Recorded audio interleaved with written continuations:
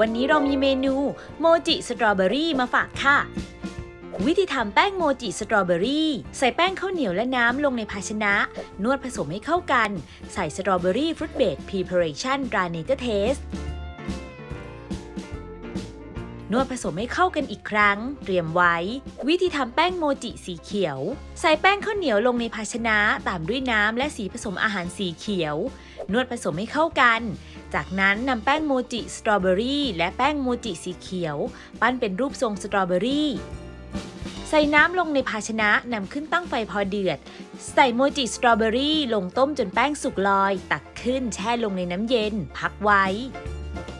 วิธีทำโมจิสตรอเบอรี่ ใส่วิปปิ้งครีมและนมสดลงในภาชนะ ใช้เครื่องตีฟองนม ตีจนฟองละเอียด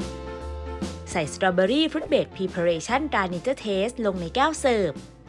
ตามด้วยโมจิสตรอเบอรี่ น้ำแข็งและนมตีฟอง ตกแต่งด้วยสตรอเบอรี่ พร้อมเสิร์ฟค่ะ แค่มีผลไม้ fruit based Da Nature Taste ไม่ว่าจะรังสรรค์เมนูอะไร ก็อร่อยได้กลิ่นและรสชาติ คุณภาพเยี่ยมทุกเมนู ผลไม้ fruit based Da Nature Taste ยังมีให้เลือกหลากหลายกลิ่น สามารถสั่งซื้อออนไลน์ได้แล้ววันนี้